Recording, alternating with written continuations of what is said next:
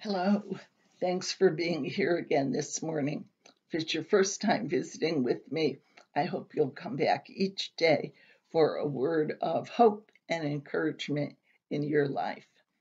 And if you like the videos, please subscribe to the channel, leave your comments and questions, and I'll try to answer them. Well, today I'm in the Gospel according to Mark, chapter 10, two verses 46 and 47. This is the beginning of the account of the healing of blind Bartimaeus. And this is how it begins. They came to Jericho, and as Jesus and his disciples and a large crowd were leaving Jericho, Bartimaeus, the son of Timaeus, a blind beggar, was sitting by the roadside. When he heard it was Jesus of Nazareth, he began to shout out and say, Jesus, son of David, have mercy on me.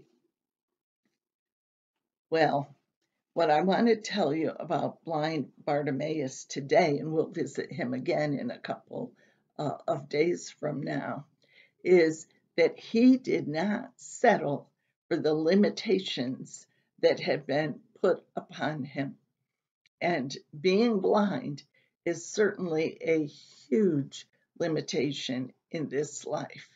He rejected living with the circumstances and he was not going to remain for with um, the idea of being blind and being in this bondage it limited every aspect of Bartimaeus's life?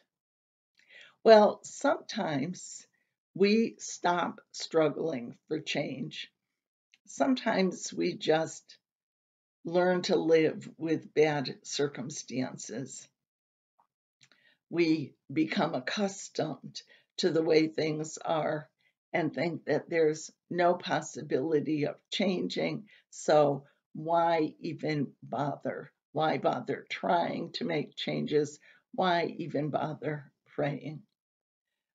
But uh, what blind Bartimaeus teaches us is that we should continue to ask for help. We should continue to try to change bad circumstances. Um, we don't have to live with what we've just become accustomed to. Just like Bartimaeus, each one of you is important to God. And I know in my heart of hearts that there is more for each one, more than what you have now. So if you've been struggling with something and we're ready to give up, my word of encouragement today is don't give up. Keep praying, keep trying. In fact, never ever give up on God.